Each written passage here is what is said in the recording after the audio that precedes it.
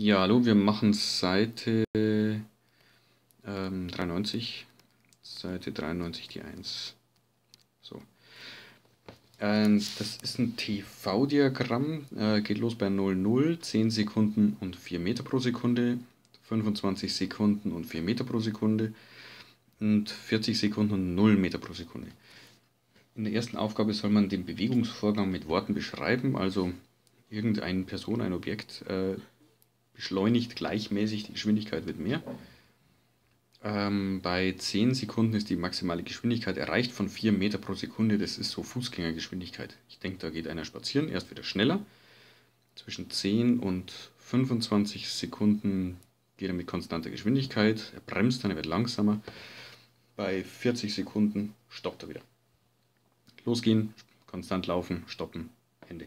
Das war die Aufgabe A. B. Gesucht ist hier der Weg, der insgesamt zurückgelegte Weg. S ist gleich Fragezeichen. Und die einzelnen Punkte sind gegeben. Wir legen das in drei Abschnitte. Den Römisch 1, Römisch 2, Römisch 3. 1, 2, 3. Römisch 1 ist eine Bewegung mit konstanter Geschwindigkeit. Also Römisch 1, machen wir hier. Römisch 1, a ist konstant.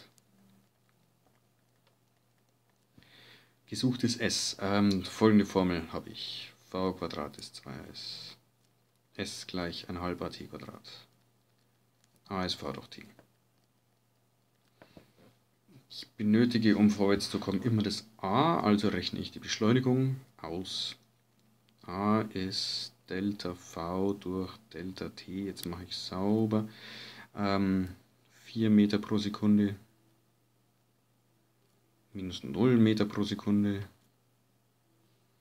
10 Sekunden, minus 0 Sekunden, ist 0,4 Meter pro Sekunde Quadrat. Und damit die Formel S ist ein halb AT Quadrat, das S ausrechnen. S ist ein halb mal 0,4 Meter pro Sekunde Quadrat mal 10 Sekunden zum Quadrat. Und dann habe ich 20 Meter. Ergebnis unterstreichen. Gut, weiter geht's. Äh, ah ja, doch. Es gibt noch eine, eine zweite Lösung. Hm, anderer Lösungsweg.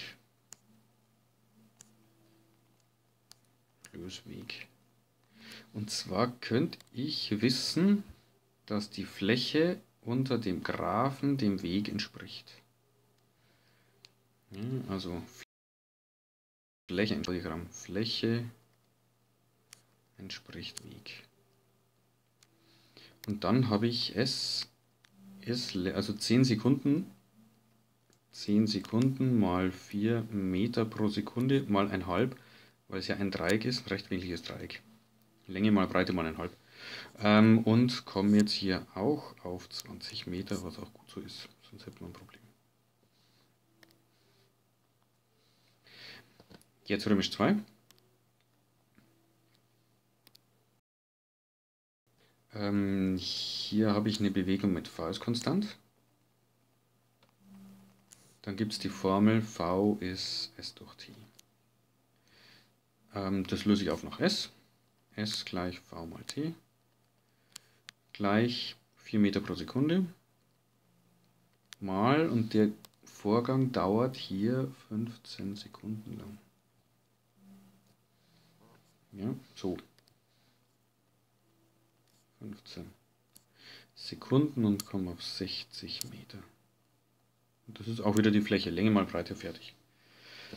Römisch 3 ist eigentlich das gleiche wie Römisch 1, nur andere Zahlen.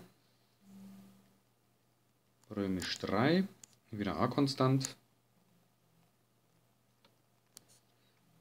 a gleich Delta v durch Delta t, Delta v durch Delta t gleich 4 Meter pro durch in 15 Sekunden.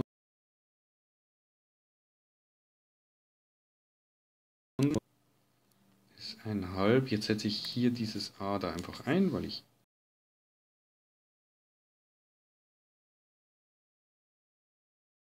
Sekunde durch 10 Sekunden mal